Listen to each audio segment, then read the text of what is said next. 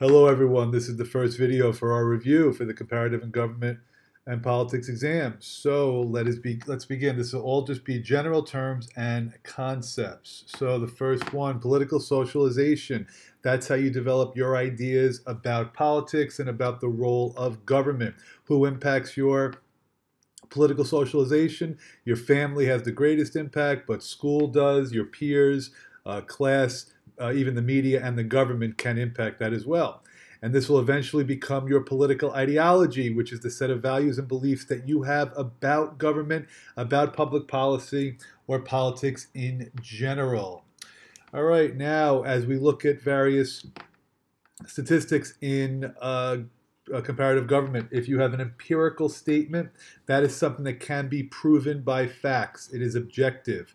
But if you have a normative statement, that's a value judgment. That is um, subjective. Uh, based on the data that you're looking at, you will make a normative statement. Okay.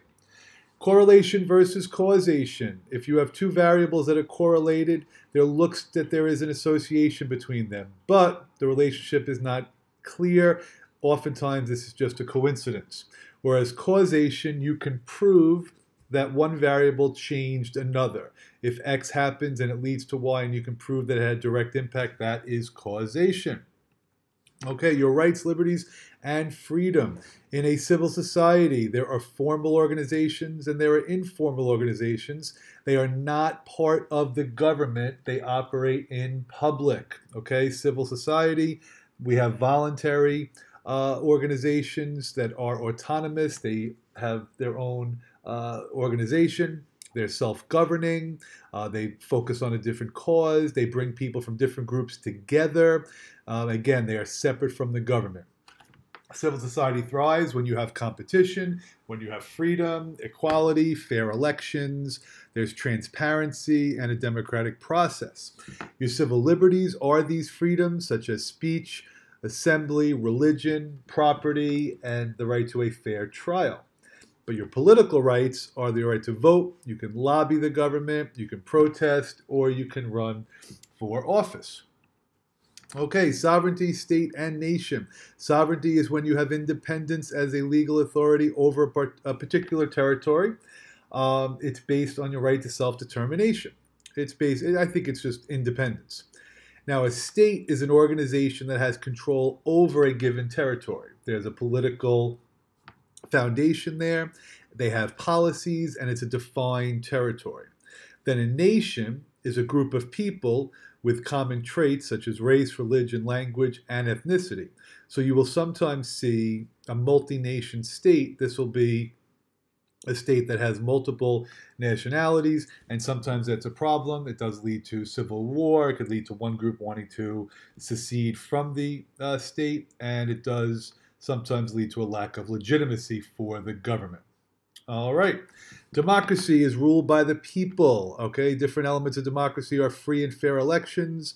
If you have regular and competitive elections, civil liberties, an independent judiciary, you have rule of law. Some of these terms I will go over in a second. Peaceful transfer of power, and citizens are eligible to run for office. When there's widespread acceptance of democracy, then democracy is consolidated. Um, you have to have multiple parties to choose from in a democracy. And then in a liberal democracy, not only do you have free and fair elections, but you also have civil liberties. In an illiberal democracy, such as Russia, they do have regular elections, and they're, I guess, relatively competitive. Uh, I'm not going to say anything negative about Putin on here, but um, uh, that was just a joke. Uh, but there are people that don't have civil liberties within the country. Okay? Uh, legitimacy and transparency. Political legitimacy is the general belief that the government has the right to rule. So, what gives a government legitimacy? If there's a constitution, if you have a, have a charismatic leader, tradition, religion can provide legitimacy, or competitive elections. And then transparency, that is when the government is completely open to the public. It disseminates accurate information to the public, it allows things to be circulated freely, and citizens can access whatever information uh, about the government's decisions and the decision making process. All right, an authoritarian regime that's a form of government that has a strong central power and they limit individuals' political freedoms. So now all those freedoms are subordinate to the state. There's no accountability. There's uh, often not any rule of law. You have a lack of choice uh, in the candidates, and even the people who are running, they might be vetted by the government and they can weed out certain people. Sometimes political opponents are intimidated to even run. Social media is often restricted in an authoritarian regime, uh, and the regime can use bureaucracy to distribute benefits to people in return to uh, for loyalty. For each country, I'll go through the examples of that. All right. Hybrid regimes, those are ones that are both democratic and authoritarian. They have elements of both. Two examples would be Russia and China, of countries that are somewhat democratic because they do hold elections, but then the governments are also authoritarian. Okay. Federalism versus a unitary system. All right, so in a federalist system, you have a division of power between the federal government or Uh, or central government or national government and the local units. So there's clear division on the national level and the subnational level. Russia is a federalist system, Mexico is a federalist system, and Nigeria is a federalist system. This can make the lawmaking process difficult because if you have a dispute between the national government and the subnational government, but it also allows for a good representation of different ideas and various policies. The United States, which is not on our exam, the United States is an example of federalism as well. We have a federal government in DC, we also have state governments. Now, in a unitary system, there is not a symmetrical power sharing. In a unitary system, the authority is at the top, central authority, federal government, that's where the authority is then that central government can give power to the local units. So all the power constitutionally is at the national level, but they're allowed to give more power on the local units if they want. Great Britain, China, and Iran are examples of a unitary system. And if they decide to give more power to the unita- uh, to the uh, local units, that is called devolution. Great Britain did this with Scotland, Wales, and Northern Ireland. That's an example of devolution. It does give the government more legitimacy and can avoid possible revolutions. All right, rule of law is when everybody is accountable to the law. It is applied consistently and universally. Rule of law is promoted when there's an independent judiciary, if you have separation of powers, checks and balances. Officials can be removed either by impeachment or a vote of no confidence authoritarian regimes, they try to resist the rule of law because they're worried about losing power. So often those regimes are corrupt. They even punish their opponents. Okay. Regime change versus change of government. So if you have a regime change, that means the entire system is different. Regime change is an example of a complete transformation. So for 70 plus years, PRI was in power in Mexico. In 2000, PRI was removed. That's an example of regime change. The USSR goes from the Soviet Union to the Russian Federation. That's an example of regime change. Change in government is when you just have like a new political party in office or new leader. So if you go from David Cameron to Theresa May, that's a change in government. You go to Ahmadinejad to Rouhani, that's in, in Iran, that's a change in government. It's Hassan Rouhani. I hate when I make uh, forget something. All right. Parliamentary versus presidential system. In a parliamentary system, the legislature and the executive branch, they're together. They're part of the same, there's a fusion of their power. So the prime minister actually comes from the legislative branch. So Theresa May was selected as a member of the House of Commons. So that's how she rose to power, although by the time you take the exam, who knows if she'll still be there. In a parliamentary system, if you don't get one party to win a majority, then you're going to need to form a coalition. So multiple parties will have to come together to figure out who the prime minister will be. Uh, and that is what happened um, in Great Britain. The legislative branch can also declare a vote of no confidence in the prime minister. Now, if you have a presidential system, there's a clear separation you have two separate, separate branches. You have the executive branch and the legislative branch. The executive is elected or selected one way, and the legislative is elected another way. So you could actually have two different parties that are ruling each branch. Okay? Both of these systems, however, could have a legislature that has two parts to it. That's called bicameralism. The UK, Russia, Mexico, and Nigeria, they all have bicameral legislative bodies.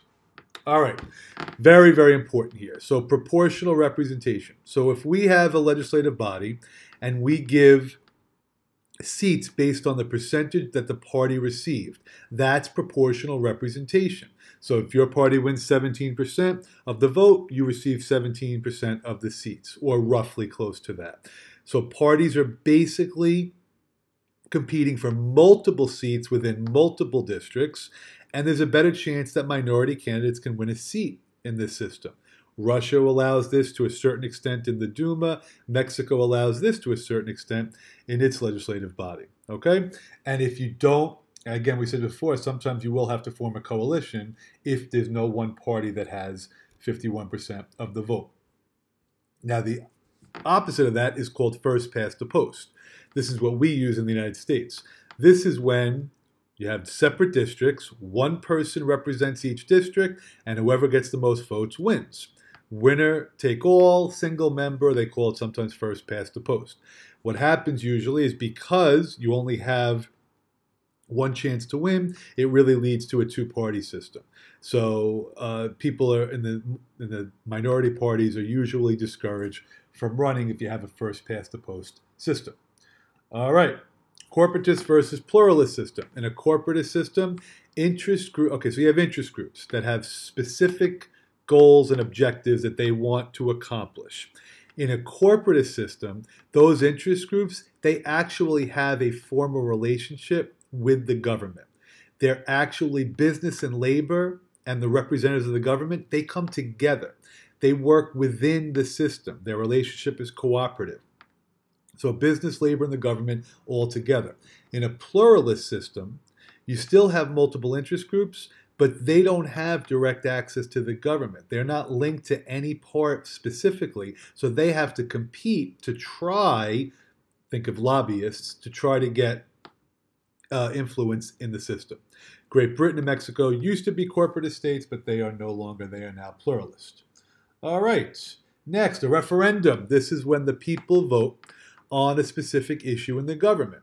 The advantage of a referendum is that the responsibility now lies with the people.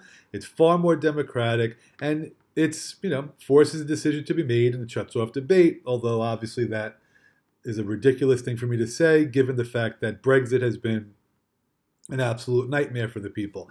When we do the Great Britain video, I will go through Brexit because I'm pretty confident that's going to have to be a question this year. Another example of devolution, I'm sorry, of uh, a referendum is when they voted to give more power to Scotland in the uh, devolution vote. And they also decided to let the mayor of London be elected directly by the people. But Brexit is the one we're going to review. Cleavages are divisions within society. I'm sure you guys pretty much understand this. It could be any uh, religion, class, gender, uh, urban, rural. Uh, we'll go through some of the cleavages for each of the countries. And leaders sometimes use cleavages to try to get more support, maintain power, uh, but obviously it also leads to major conflicts like we have in Nigeria and frankly most of the countries. Political parties, I think we know what that is, but if you have a multi party system, you have more people being represented.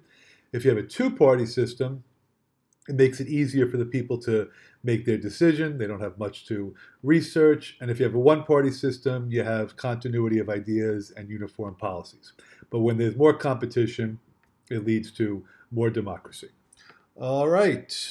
Supranational organizations and some other uh, groups here. The European Union is one example of that. Please remember, though, that the European Union's court that will override any of the decisions by the courts in the home countries.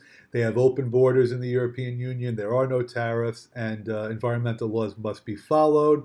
Again, Brexit is the key part of that that we'll go over. Uh, the European Union, UN, NATO, sometimes even a terrorist group like Boko Haram, they can all challenge the sovereignty of a state.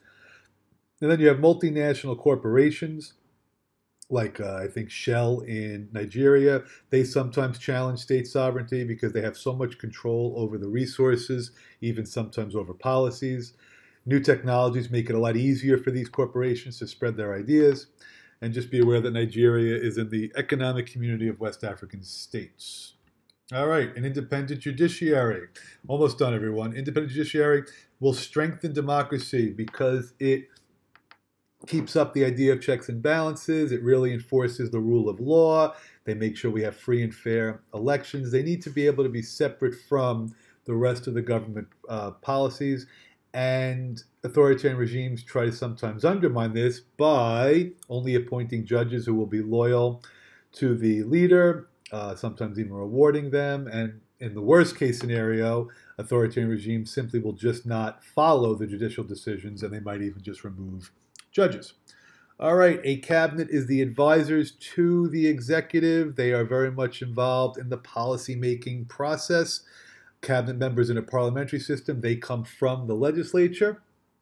The majority party leader usually will select them. In a presidential system, they can be removed by impeachment. In a parliamentary system, they can be removed by a vote of no confidence. And um, uh, that's basically it for the cabinet. All right.